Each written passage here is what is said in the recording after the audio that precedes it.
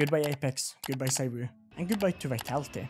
In Katowice, the new kings of the game has taken their place at the top of Counter-Strike. It's a very unlikely team. ENCE. But how did ENCE, a team barely ranked top 50, beat the best team in the world? From crazy clutches, weak site hold, and a star player not performing, this match has it all, and today we're breaking down the match between Vitality and ENCE, as well as Spinx's POV to understand what even happened to him and starts a pistol round with 2 smokes, 2 flashes and 1 molotov. These are good utilities for a fast execute, since 2 smokes are enough to block out any CTs rotating into site, as well as the molotov and flashes can be used to take ramp control rather fast, by molotoving short, headshot or sandbags, and then using a flash like this to blind any CTs still fighting after. While Vitality has bought a nade and 2 flashes, and these are done to set up for the retake, by using the nade to break the smokes, and then flashes to take back site. So who will win this? The game plan from ENCE is quite easy to understand even for a silver. It's a classic rush, with 5 players straight up to ramp. And this is done since usually on A side CTs will be 3 players,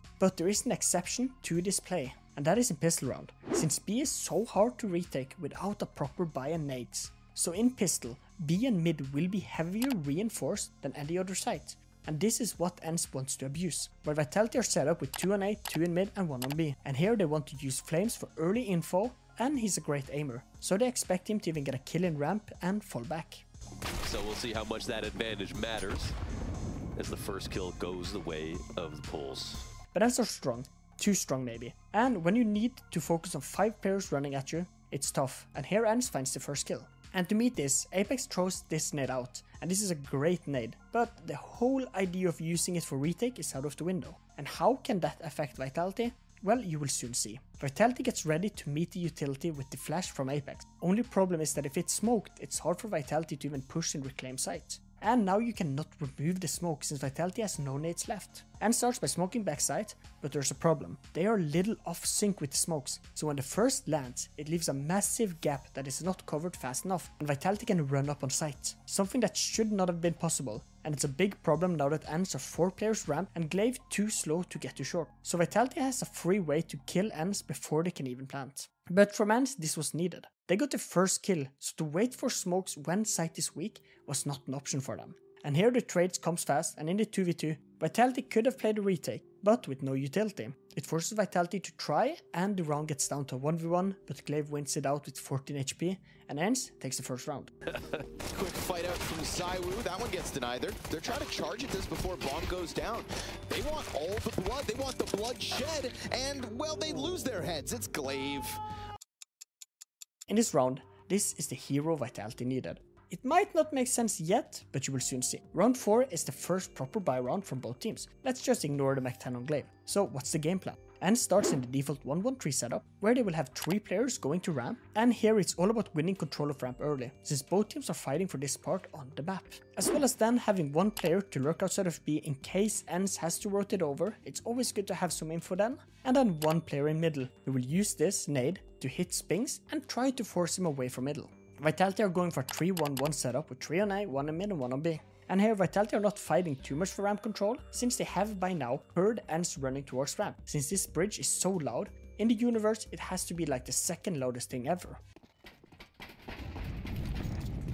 And we can see flameZ is quick to rotate away from ramp, while both teams are flashing up on ramp. And here Dycha is fast up on the sandbags, and to jump up here you are reliant on the flashes, so it's good ENCE has some good ones here to force Vitality off the repeak. And here are the flashes that ENCE are using. But after getting up, the flameZ and Vitality has to win it back.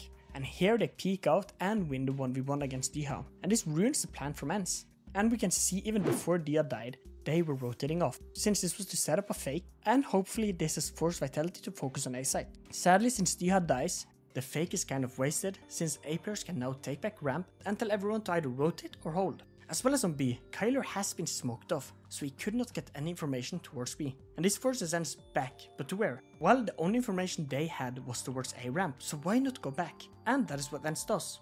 But there is a problem. flameZ by now has pushed down ramp, and has gotten here.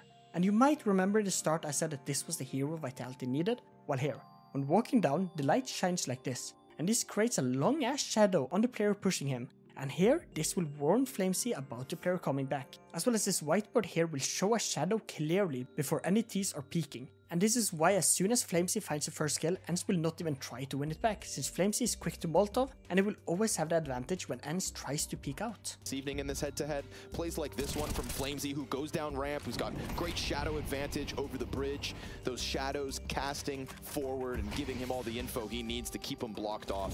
So now B and A has not worked out, so ENCE only has mid left. And why not? Spinx was being tagged here by a nade earlier, as well as ENCE has some smokes left to make this work. And here they will work up towards middle. Only problem is the Vitality are ready for this, since they got a full A and B control. And here is a bloodbath. ENCE tries a flash like this from Glaive, it's a good one to know, but ZywOo is too ready and hides behind the wall before swinging out on the flash. But can't get anyone, but ENCE forgets about him and rather fast after killing Spinx and ZywOo cleans up the round after re-peeking. In a way, only he can. Hell are you? Spinx looks to tether off him. Nice coverage given out from Glaive. ZywOo right back at it. That's snap. Hey all, this video took some time and would mean the world to me if you wanted to subscribe, since I have some banger of videos coming out later, as well as I have a Discord channel, link in the description.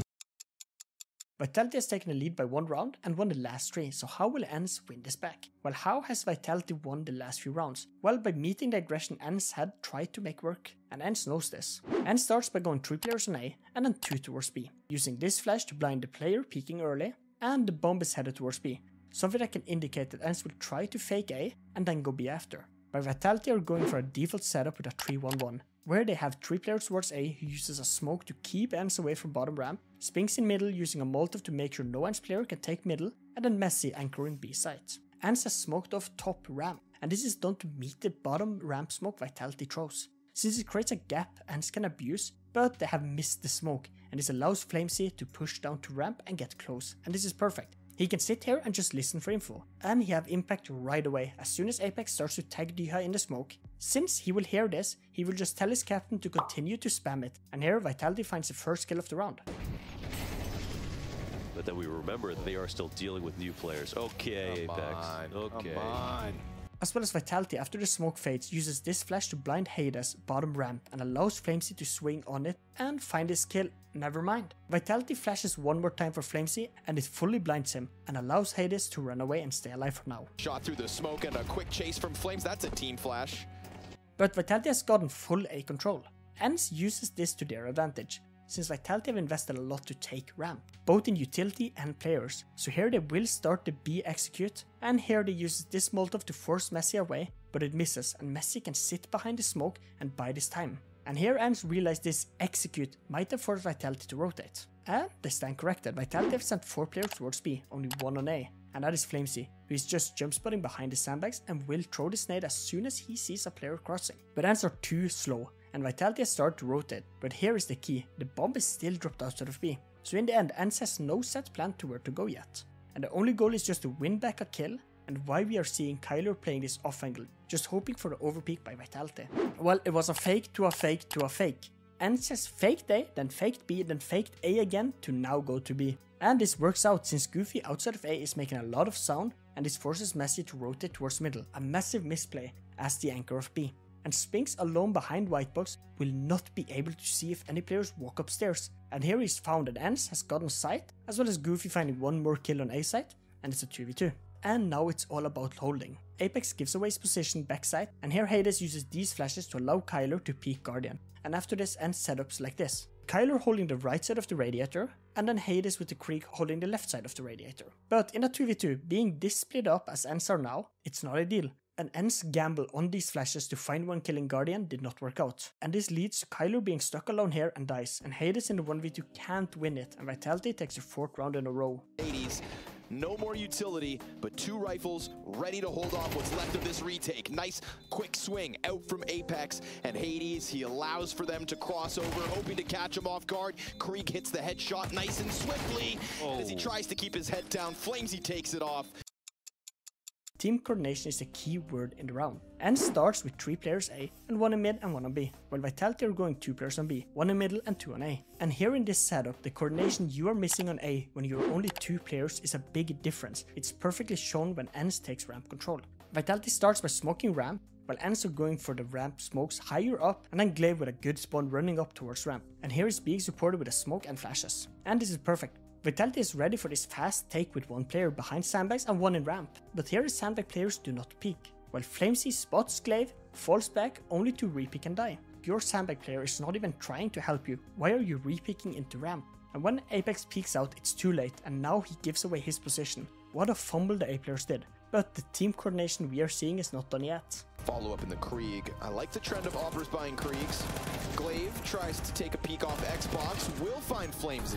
ENCE are happy with this kill and now wants to take B, since last round showed them how weak B could be, but here Vitality are in the perfect position to deal with this, in a 180 degree setup with mezii bottom stairs and Spinx on top of the wood. And here again the team coordination in the setup is off. ENCE can first swing mezii without Spinx being able to see them, and then they can deal with Spinx. And just like that, ENCE has got 3 kills and Vitality has gotten 0. Something you can see on Spinx is that after mezii dies, he repositions towards the right of him, since that is how we were supposed to play and this movement made him just a little too late to shoot and he could not get anything done. But what happens now? It's a 5v2, so how did this round end as a 1v1? And still needs to get to site, and here ZywOo in middle finds the first ENCE player not ready, while Apex and Ramp can kill Dycha here. But these were the two only players from ENCE that were split up from the pact, so what now? and starts by using this smoke and Molotov, but this creates an opening and here ZywOo can kill Hades who tried to get to a better spot. And this makes it so the tall box player is just stuck and found, and Glaive with 16 HP is left in the 1v2.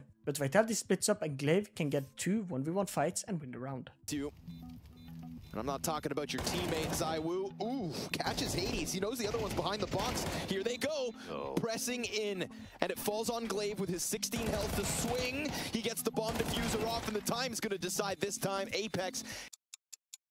And won the last round. But since so many died, they can only afford 1 AK and 3 Galils. And this was the reason ZywOo and Apex went for the fights in the 2v5 to ruin ENCE economy. ENCE are going for the default 3-1-1, while Vitality are going for the default 3-1-1 as well. Kylar starts by using this smoke and flash combo to make sure Vitality knows there are someone on B, but not given any information about it. But the round starts with ZywOo finding the first kill in ramp, and here is something you can see at all levels of CS, even at the highest level. Since Vitality expect that ENCE will slow down now, they get lazy and stops to hold ramp. That has to be the only explanation how Glaive can walk out of the ramp smoke and is able to find 2 kills when Vitality are 3 players in ramp. And Glaive is doing this solo to get information and a trade back. This ramp fight so consistent and more often than not to the favor of Vitality. Glaive, I love it. Glaive's been consistent on this ramp fight and more than just this match. He's been very good on Vertigo for this.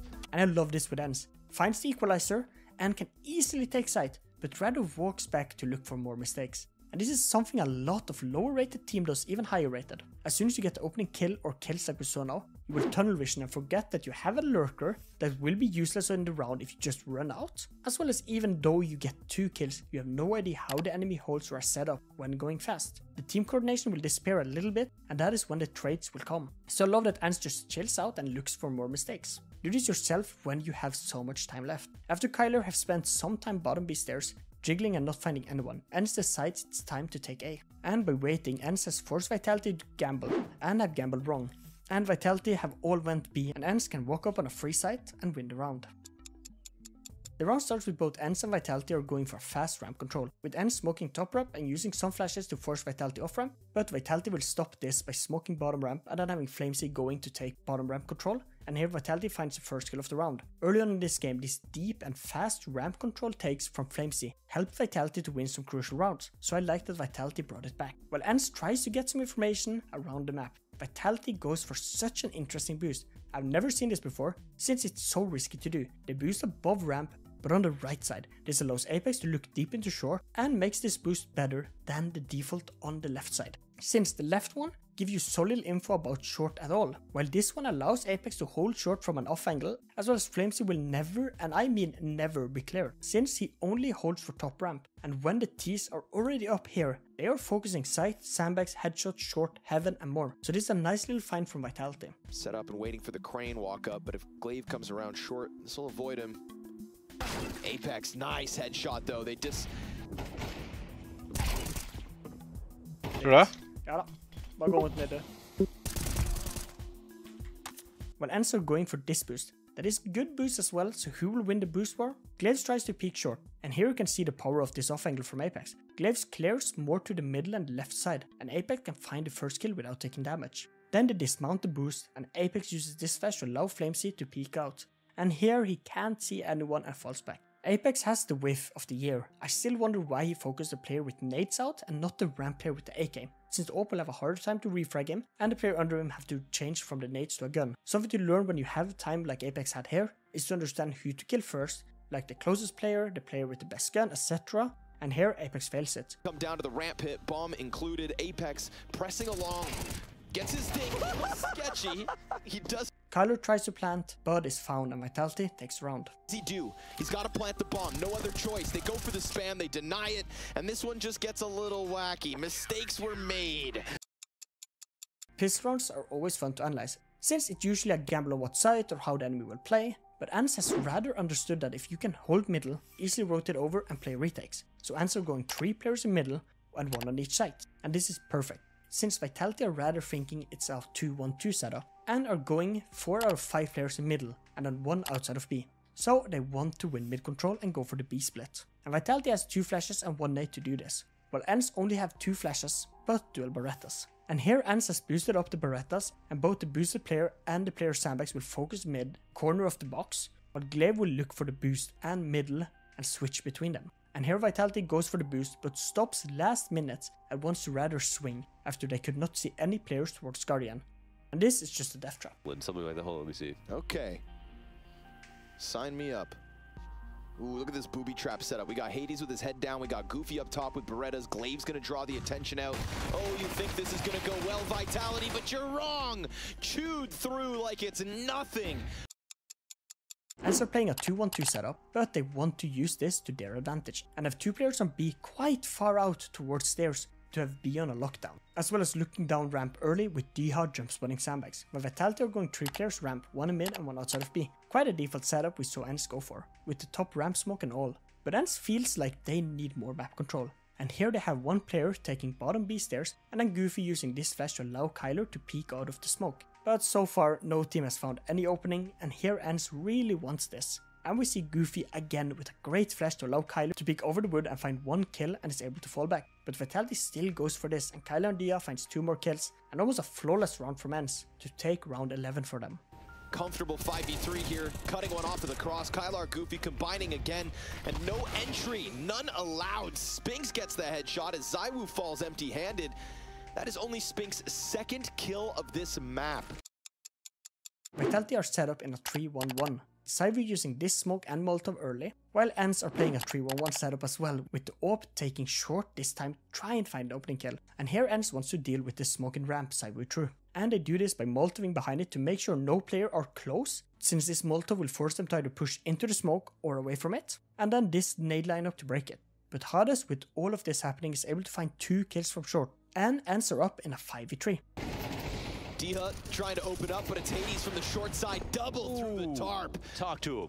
And just with some smokes, ENCE were able to keep Vitality out of short and B side to really make sure they can't get any information and kills before a side take for now. But the problem now is that on A, ENCE are staying too split up, with Dycha stuck behind sandbags, Glaive on backside, and here Dycha is found, and this forces the captain to try to get some kills back. And here he goes for this utility set, and this allows him to go short without being seen, and before the utility of Vitality drops. And here Glaive finds one kill, as well as ENCE has two players coming behind Vitality and Ramp. ENCE goes out to box in Vitality and just secure the round. And look how aware Glaive is. After finding the first kill, he walks down to Ramp since he knows both Vitality player had to go to take site, and he can stay alive a little bit longer. And in the 2v2, ENCE wins it and secures Vertigo, their own map pick. But flameZ, he comes back around fighting. Goofy's got one, Hades the last. And just like that, we've got ENCE map up. What went wrong for Spinx? After watching over Spinx' demo, I can see there are three glaring issues that led to him going 4 and 17, and they are position, decision making, and unlucky.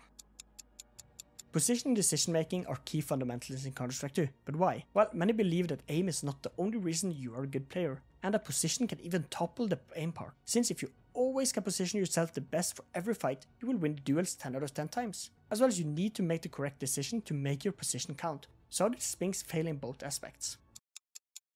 And here he has positioned himself behind white box, and with an SMG, and I love this position here. Guaranteed to get close angle fights, so how is he playing this wrong? Well, every time you position yourself here, you need to make a plan. And in Spinx's case, that should be to rely on your backside player to call when a player is close and then swing off the contact. But here he rather swings right away and takes and takes a distant fight with an SMG to a rifle and dies. Yeah, that's that could take a lot of effort. That could take a little luck. That could take you know the right teammates. In round 6 he decides to play behind white box and again I love this position, it's a great off angle. But here you need to be prepared for what to do when your backside player leaves. Since in this spot, where he holds from, he can't see if any players walk upstairs, and here that is the problem. When the backside player leaves, Spinx is just a sitting dot. And here he's just peeked and killed. Since when mezii left him, his decision should have been to walk back and try to get a kill or a better spot. Since staying white box in that scenario is hard to even have impact. They are still very much in this B site. Spinx holding on to close, but ooh, nice headshot from Kylar.